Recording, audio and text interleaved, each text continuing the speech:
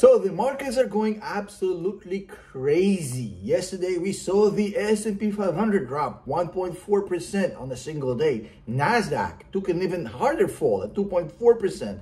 And the holiest of the holiest, the IWM, the small caps, fell 3.2%. A lot of people are anxious, a lot of new investors are nervous, and it is a significant drop. But as an experienced investor, you always have to zoom out and not for too long. Just zoom out for the past 30 days. If you look at the past 30 days, this is what we're seeing.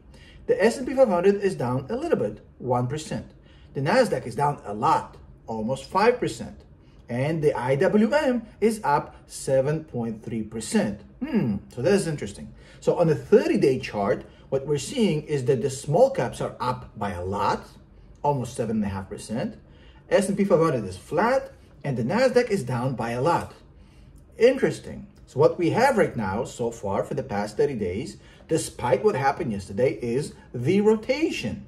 The rotation out of tech into small caps for the various reasons we discussed here in the channels many, many times, but the main one being lowering of interest rates gives a lot of benefit for small cap stocks because of debt structure, because of the amount of leverage they have, and because how DCF valuations work with a lower interest rate. Now, the rotation may or may not play out like Tom Lee predicts. If you recall my previous videos, I've showed you how Tom Lee says that he thinks that small caps, the IWM, is going to run up 40% by the end of the year.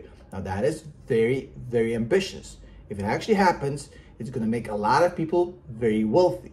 But it may or may not happen. Nobody knows. Nobody has a crystal ball one way or the other. Some people think it may, some people think it may not.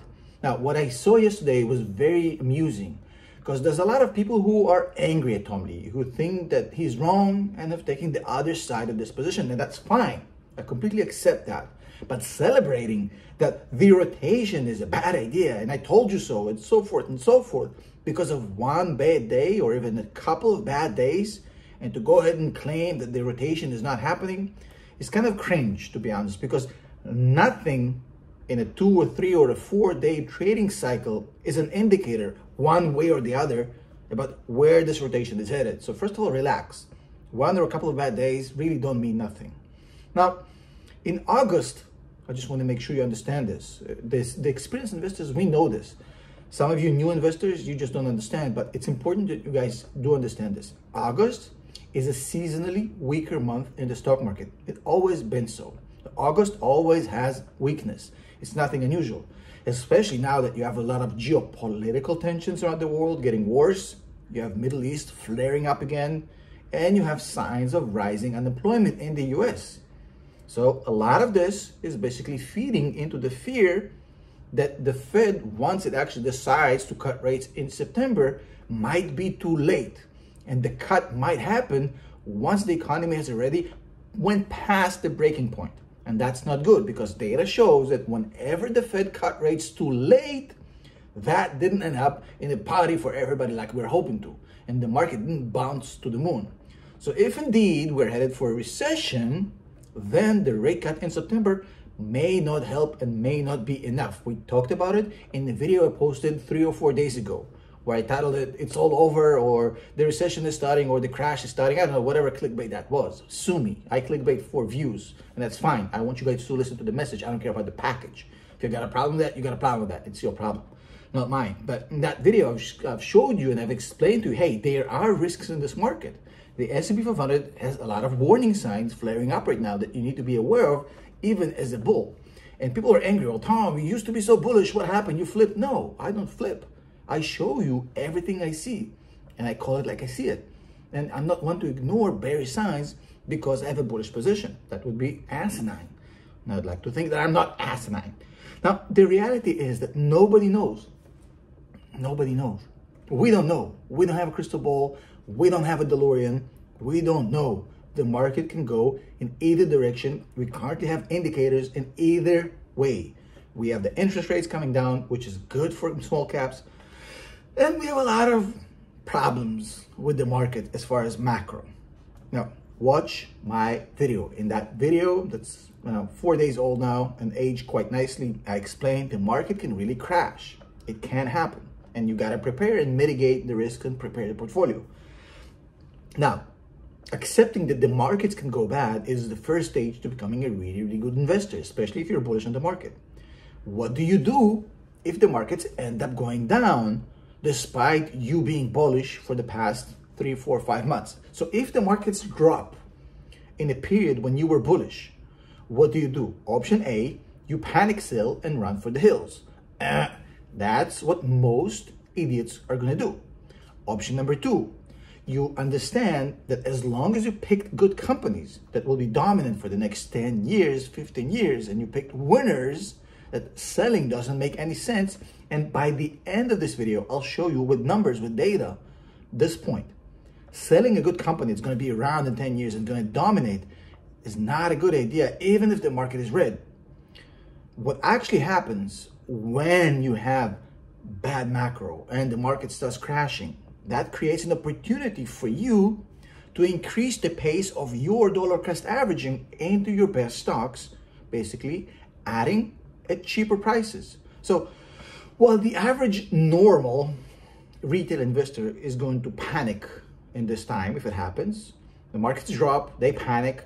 My students are trained like freaking Navy SEALs to auto respond to this by profiting, by reducing their cost base through double down DCA when the market is red and increasing a cheaper cost basis on the expense of the idiots panic sell.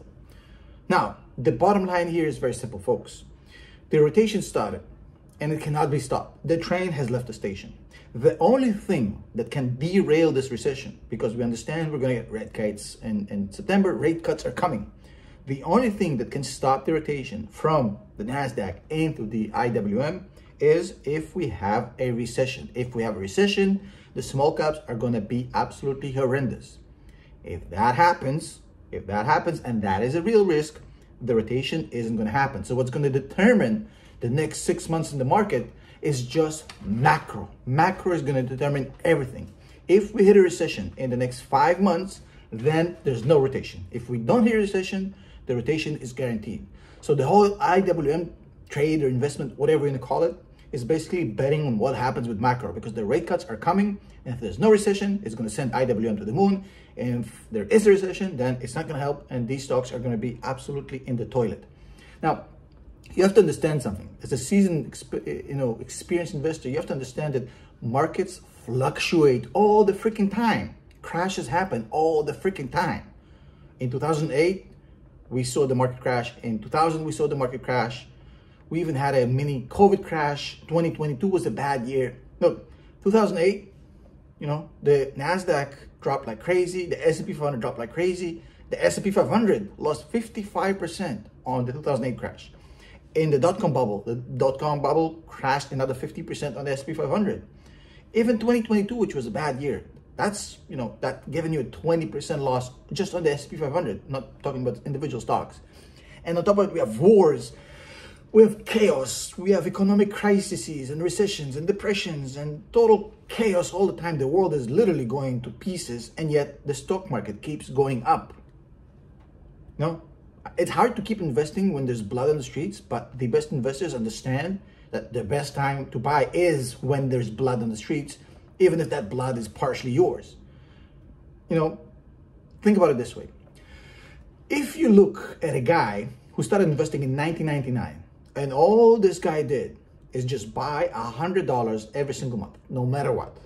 Now, by five years, that guy would be up 30%. We're talking about 2004. After all the crisis of the dot-com crash, he would still be up 30% after five years. That's not bad given the crash that happened. If the same guy would have sold off once the index dropped 10% below the 52 week high and just bought back in when the index jumped back up, that guy would be down 11% after five years. So timing the market and jumping in on the way up would have cost him 41%. And by the way, if we zoom out to the 20 to the 20 year sorry, to the 20 year chart, we're talking about a whole different number. After 20 years, the guy who doubles down into weakness essentially buys 100, 100, 100. But when the index drops 10% below the 52 week high, that guy that doubles down into weakness would have made in 20 years 230% off the S&P 500. In wars and crashes, three major crashes, 20 years, 230%. The guy who jumped back in, jumped out, and all that stuff would have made 120%, literally half. Half. Think about it this way. If over the past 20 years, all you had to do for the past 20 years is miss 10 of the best days in the market. If for the past 20 years you missed 10 of the best days in the market, you would have missed out on 50% gain. Your 50% gain would have gone to the toilet by missing 10 days out of 20 years. Look, Goldman Sachs proved this to you years ago. They put out a study and they basically said, look, the bottom 50% of households in America have 4% in stocks. The top 1% have 61% in stocks. That's the whole difference. By the way, they have 20%, 30% bonds, and the rest in cash, but that's a whole different story. And if you analyze it a little bit deeper, just for those of you who are nerdy enough, 82% in the US stock market, 95% not in individual stocks. They buy indexes, they buy stuff that are not individual stocks, mostly only 5% on individual stocks. And on top of it, it takes them an average of 12 years to trade through the entire portfolio. 12 years. They don't actively trade. They don't actively trade. They invest in US companies for the most part. And they invest in the index. That's the whole secret right there. That's the whole secret sauce. Crashes will happen. The whole idea here, rotation happens. Great. We buy. We enjoy. Rotation doesn't happen. We crash. We double down with DCA. We lower cost basis. We wait for the way up. We ride it up again. It's a very simple story. It's not about who's right and wrong. Tom Lee may be right. Meet Kevin may be right. Some other scholar may be right. Who knows? The idea here is that if the market crashes, you double down. If it doesn't, you enjoy the ride up. It's that simple. Now, as always, this video was a lot of fun for me to make. It's a break from my vacation, which was very demanding, very tough, all day long, sit around, drink, do nothing. So I had to, you know, stop all this grind, come on here and make that video. Just kidding. Love Thailand, love my vacation, but I love you guys even more. So I'm going to be on here as much as possible to give you the updates. Thank you very much. Love you all. See you in the next one.